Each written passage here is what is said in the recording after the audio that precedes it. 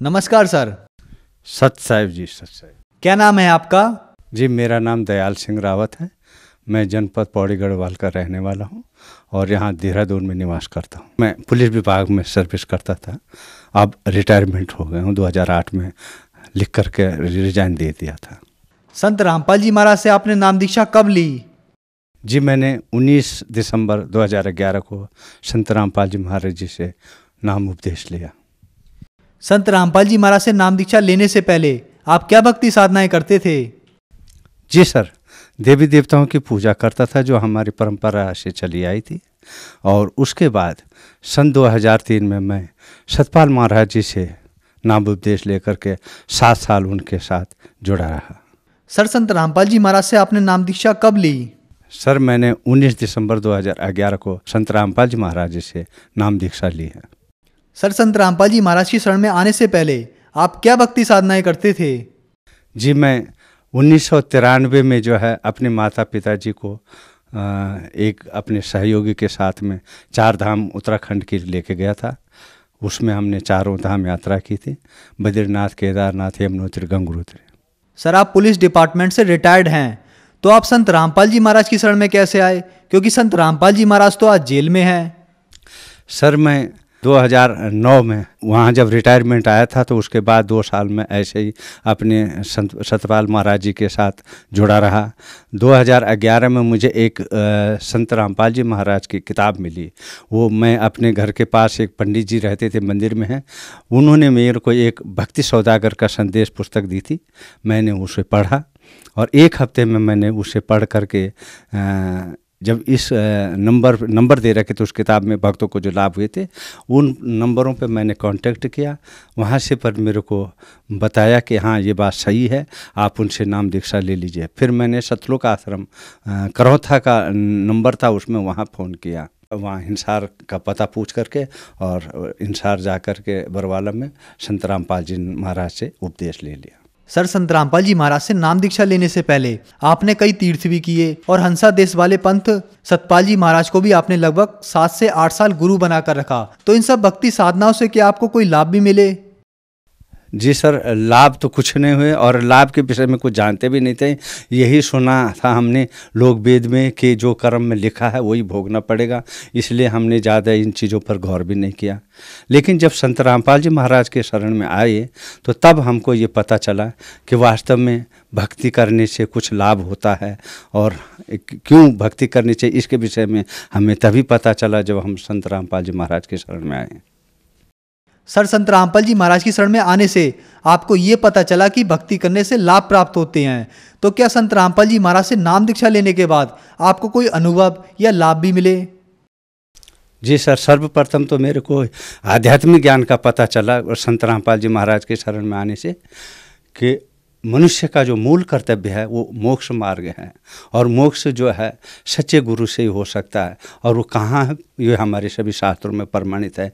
ये हमको तब पता चला जब हमने संत रामपाल जी महाराज का ज्ञान समझा।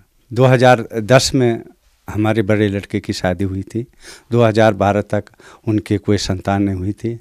तो हमारे धर्मपत्नी ने जो उस समय ज्ञान नहीं ले रखे थे, उन्होंने मेरे से कहा कि आप संत रामपाल जी महाराज के शरण में हैं। आप उनसे क्यों नहीं प्रार्थना कर लेते हैं? तो मैंने मन ही मन प्रार्थना करी कि हे परमात्मा हे संत रामपाल जी महाराज आप तो सब कुछ कर सकते हैं। आप हमारे बच्चे को आ, हमारे घर में भी एक बच्चा दे दीजिए। तो हमने उन्हीं के नाम से फिर एक पाठ करवा दिया। और पाठ प्रसाद ला करके मैंने पूरे परिवार में दिया, बहू को भी दिया और उसी दिन से जो है परमात्मा ने हमें एक कन्या 2013 में दे दी। उसके बाद मेरा छोटा लड़का जो था 19 बरस का था 19 बरस से जो है वो भर्ती की ट्राई करता रहा। तीन चार बार वो जो है मेडिकल में आकर के फेल हो जाता है क्योंकि उसके पैरों के तले एकदम फ्लैट था। तो पुलिस की भी उसने ट्राई की और आर्मी की भी उसने ट्राई की, लेकिन वो उसी पैरों के तलवे की वजह से जो है फेल हो जाता था मेडिकल में।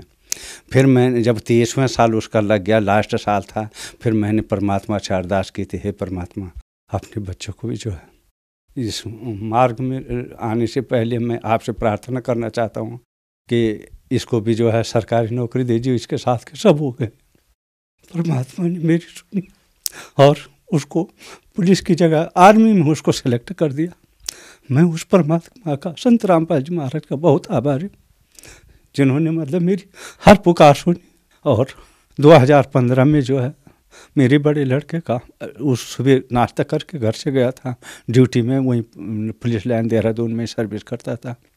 घर से नाश्ता करके घर गया, वहाँ ड्यूटी पे गया और एक घंटे बाद मेरे को फ़ोन आ गया कि आप तुरंत हॉस्पिटल आ जाओ। मुझे ये पता नहीं था, मैंने सोचा था गाड़ी चलाता है, एक्सीडेंट वगैरह हो गया होगा कुछ।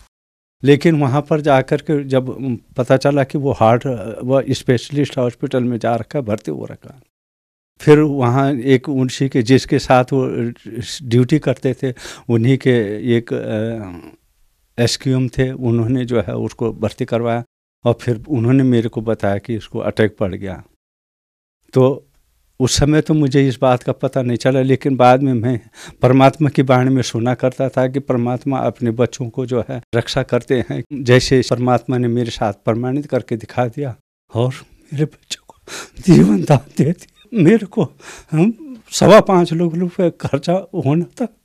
पता नहीं परमात्मा ने संत रामपाल जी महाराज की कृपा से कहाँ से वो पैसे आए, मुझे खुद पता नहीं था। छोटा लड़का मेरा आर्मी में था। मैंने उसको खबर तक नहीं की कि बेटे ऐसा हो गया। और मुझे जो है, पैसों की भी इतनी सुविधा मिल गई, पता ही नहीं चला कि कहाँ से आए ये पैसे। और बड़ा लड़का तो पढ़ाई था बेड पे, उससे भी मैंने एक पैसा नहीं लिया था। और एक हफ़्ते के अंदर पाँच लाख रुपए मैंने अस्पताल में पूरे कर वहाँ कर दिए। लड़का भी ठीक हो गया। और आज परमात्मा की रजा से सब कुशल हैं। और मैं उन संत रामपाल जी महाराज का आभारी हूँ और कर, प्रार्थना करता हूँ। ये परमात्मा। अपने दास पर इसी तरह दया करते रहे। सर संत रामपाल जी महाराज से नाम दीक्षा लेने के बाद आपको बहुत सारे लाभ प्राप्त हुए। लेकिन पहले आप हंसा देश वाले पंत सतपाल जी महाराज क्या थे। वहाँ आपको ये भी नहीं मालूम था कि परमात्मा ऐसे कोई लाभ भी देता है। तो जो श्रद्धालु आज आपको देख रहे हैं उनको आप क्या संदेश देना चाहोगे? मैं संदेश देने लायक तो नहीं हूँ। लेकिन संत रामपाल जी महाराज की तरफ़ से विनय निवेदन करना चाहता हूँ। कि हे मानव, परमात्मा की वाणी में लिखा है, मानुष जन्म दुर्लभ है, मिले न बारंबार, और जैसे तरबर से पत्ता टूट गिरे, फिर लगता न बहुत डार। ये मानव का जीवन बड़े भाग्य से मिला है, और ये केवल परमात्मा की भक्ति के लिए मिला है और अपना मोक्ष मार्ग के लिए मिला है। और आप इस ज्ञान को, एक बार संत रामपाल जी महाराज के ज्ञान को समझें और उनकी शरण में आकर के अपने जीवन का कल्याण करें। यही मेरी सबसे विनती है, प्रार्थना है और अपना उद्धार कराएँ। सर, पहले आपने हंसादेव सतपाल जी महाराज को गुरु बनाया। बाद में आपने संत रामपाल जी महाराज से नाम दीक्षा ली। लेकिन आज बहुत सी दुनिया है जिसने एक गुरु बनाया हुआ है। वो ये कहते हैं कि एक बार गुरु बना लिया तो दोबारा गुरु नहीं बनाना चाहिए। उन सब के लिए आप क्या संदेश देना चाहोगे? ये कबीर वाणी में परमात्मा ने स्वयं कहा है कि जब तक मिले गुरु न साचा, गुरु करो, मिलकर दस पाँचा। तो ये हमारे आज तक जितने भी गुरु मिले थे, इनको कोई आध्यात्मिक ज्ञान का पता तो है नहीं। तो इसलिए जो है, जैसे एक डॉक्टर के पास जाते हम, हमारा कोई शारीरिक रोग ठीक नहीं होता तो हम तुरंत दूसरे डॉक्टर के पास भागते हैं। ठीक इसी प्रकार ये मानव जीवन का हमारे आध्यात्मिक रोग है। और हमें जब एक गुरु से लाभ नहीं होता तो हम तुरंत दूसरे गुरु के पास जाएँगे। और जब तक हमारी संतुष्टि नहीं होगी, तब तक हम गुरु बदलते रहेंगे। लेकिन अब हमको पूर्ण गुरु परमात्मा स्वरूप संत रामपाल जी महाराज मिल गए हैं और अब इस पूरे ब्रह्मांड में, इस आध्यात्मिक मार्ग को बताने वाले संत रामपाल जी महाराज के अलावा कोई भी गुरु नहीं है। और ये अब हमारा आखिरी गुरु हैं और पूर्ण गुरु हैं। इसमें कोई हमको भ्रमित नहीं कर सकता है। और हमारा अब दृढ़ विश्वास है कि परमात्मा हमको मोक्ष मार्ग मिल गया है और मोक्ष करवाएँगे। सर संत रामपाल जी महाराज से नाम दीक्षा लेने के लिए क्या करना होगा? सबसे पहले आप कई चैनल आजकल संत रामपाल जी महाराज की दया से खुले हैं और आप सत्संग देखें और सत्संग के नीचे जो है, पट्टी आती है, इन पर नंबर दिए हुए हैं। इन नंबरों पे आप कांटेक्ट करें। आज संत रामपाल जी महाराज की दया से पूरे विश्व में नामदान खुले हैं।